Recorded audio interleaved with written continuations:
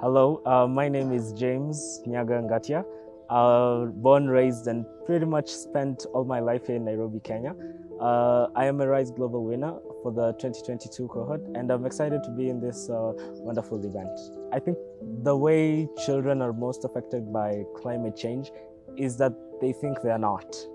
The not in a bad way, but I think the ignorance that they have is a pretty negative impact on themselves uh, as much as everyone.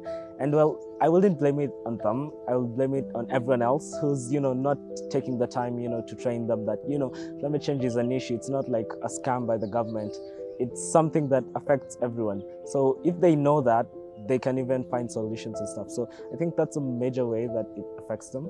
I feel it's very hard to, you know, find an adult, maybe 50 years, 30 years, who has some passion for climate change all of a sudden.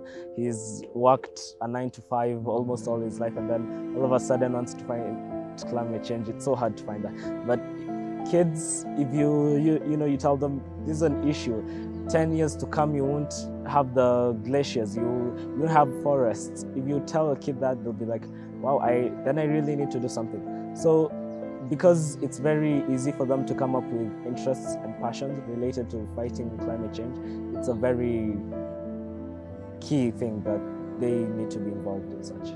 I feel the greatest power tech has in tackling climate change is the, its power to tell the story of climate change. I don't think there's a, any other resource greater than tech in telling stories of climate change.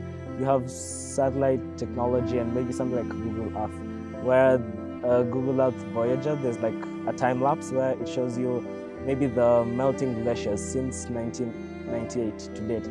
That, that's very nice. You, you, show people that instead of telling them facts, which maybe they won't listen to.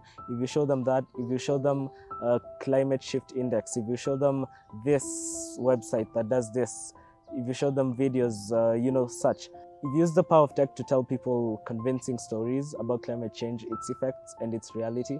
It will do amazing things. Yeah, and it, it's very convincing.